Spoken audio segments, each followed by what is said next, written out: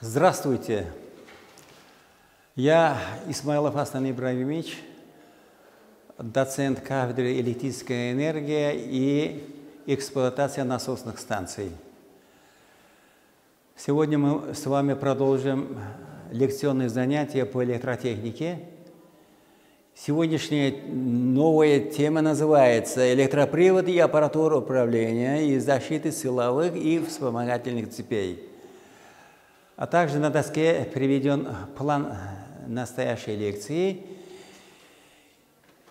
И он состоит из четырех пунктов. Первый пункт – это общие сведения об электроприводах. Второе – э, классификация электроприводов. Третье – развитие электропривода и его значение в народном хозяйстве. И четвертое – механические характеристики электроприводов. Необходимо отметить, что электрический привод – самый распространенный вид применения электрический и в сельском хозяйстве, и в животноводстве, потому что многие технологические процессы осуществляются машинами и механизмами, которые потребляют электрическую энергию. И электрическая энергия э, определяет э, э, качество выпускаемой продукции, производительность этих машин и, конечно, в конечном итоге себестоимость переработки продуктов животноводства – в том числе и сельскохозяйственного производства. Давайте сначала мы с вами выясним, что такое электропривод, из чего состоит он, что за устройство. Электро, электропривод – это машинное устройство, которое преобразует электрическую энергию в механическую – и оно, электропривод состоит из электродвигателя, передаточного устройства и рабочей, рабочей машины. Электропривод обеспечивает управление преобразованной механической энергией. В некоторые типы электроприводов входят еще преобразовательные устройства, выпрямители, преобразователи частоты, инверторы и так далее, и так далее. Это уже э, сложный э, электропривод – Э, конечно, электроприводы тоже классифицируются. Мы, значит, первая, первая классификация – это групповой, по-другому называется трансмиссионным электроприводом.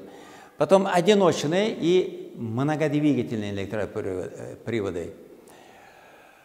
При групповом электроприводе с помощью одного э, двигателя приводится в движение нескольких рабочих машин.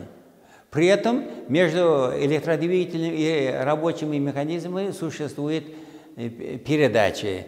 Эти, этот э, вид электропривода групповой хорошо распространялся в начале развития электропривода. Это относится к концу XIX века и начала XX э, века. Из-за некоторых э, трудностей и громоздкости, громоздкости э, и низких коэффициентов полезного действия такие, электро, такие электроприводы в настоящее время редко встречаются. И они используются только по необходимости. Э, второй, электро, э, это, второй э, вид электропривода – это одиночный электропривод. Одиночные электроприводы бывают простым и индивидуально одиночным.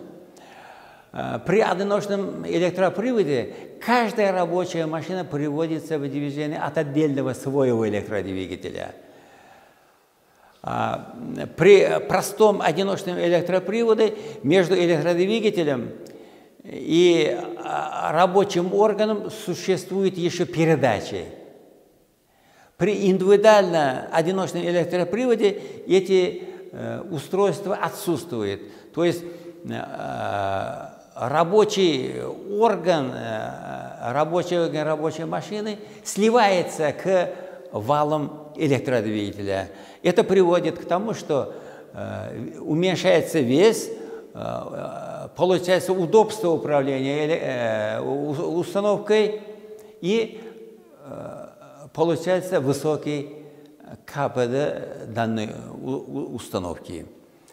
Есть еще многодвигательный электропривод. Это здесь уже по-другому. Здесь э, этот электропривод такой электропривод, при котором э, каждый рабочий орган э, э, сложной рабочей машины приводится от отдельного своего двигателя. При этом э, при использовании э, э многодвигательного электропривода э, возникает возможность регулировать частоту вращения каждого рабочего органа э, и э, э, найти оптимальный получению оптимального режима работы каждого рабочего органа. И при этом, значит,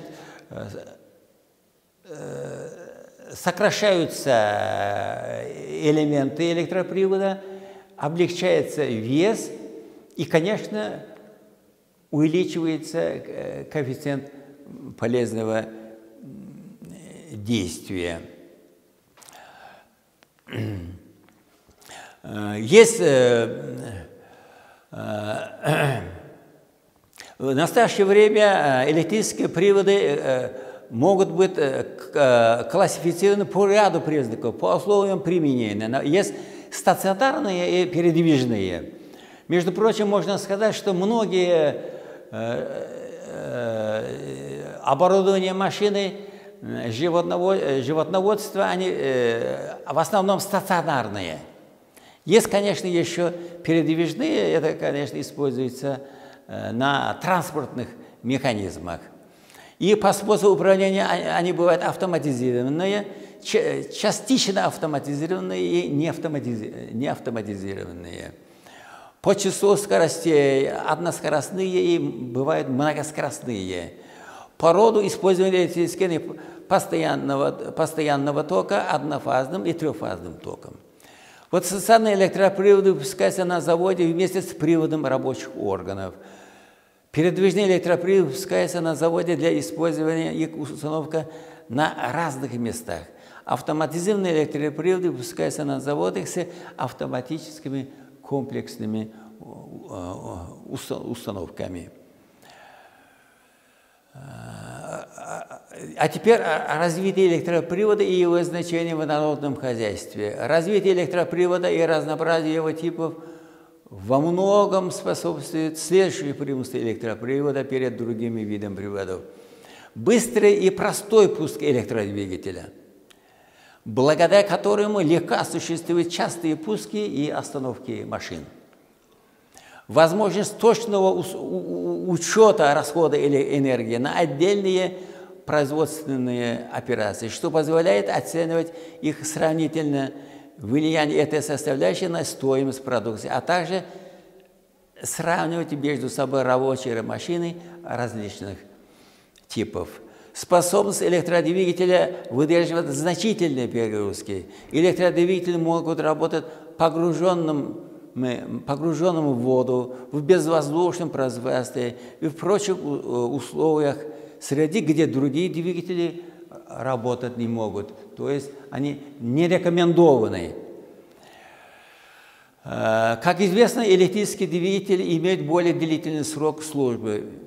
Э, у электродвигателей меньшие габариты и металлоемкость, простые в обслуживании и надежные в эксплуатации. При электроприводе легче осуществить автоматизацию работы отдельных машин, так и всего производственного процесса в целом. Возможность использования электрической машины как в двигательном и тормозном режиме, то есть в генераторном режиме. Иногда вот двигательный, э, э, электрические э, двигатели, работающие в двигательном режиме, переходят в генераторный режим, что способствует экономию электрической энергии. Это часто наблюдается на транспортных машинах. А, товарищи, теперь механические характеристики электропривода. Зачем они э, нужны, механические характеристики э, электропривода? Они нужны для того, чтобы правильно выбрать э, электропривод для рабочих механизмов. Вот механическая, для этого нужно будет механическую характеристику и рабочей машины, и электродвигателя.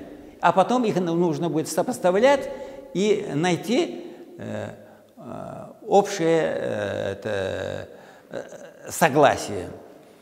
Вот что такое механическая характеристика? Механическая характеристика – это зависимость частоты вращения привода, то есть электродвигателя, от его момента. То есть момент и частота вращения зависят друг от друга. Изменение момента на валу двигателя может привести к изменению э, скорости вращения электродвигателя.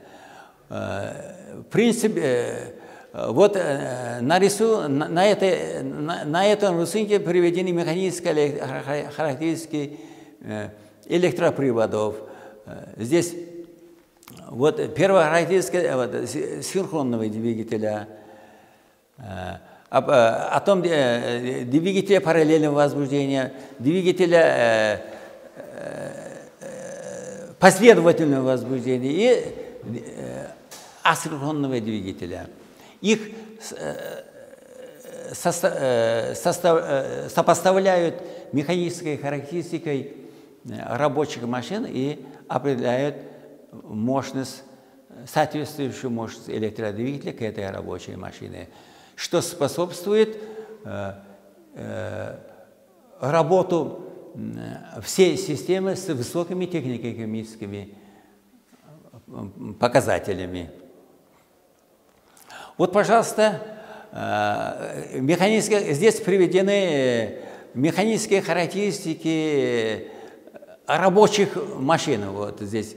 Вот э, э здесь момент э, зависит от вот, а, а, а М ноликового, и вот здесь э, э момент э, рабочей машины, здесь момент холостого хода и частоты вращения. Здесь номинальная, номинальная частота вращения, и здесь э, частота вращения механизма. Вот существует в настоящее время четыре механические характеристики э, рабочих машин, с которыми мы должны ознакомиться и э, учитывать при расчете мощности электродвигателя. Спасибо за внимание. Если есть вопросы, пожалуйста, передавайте.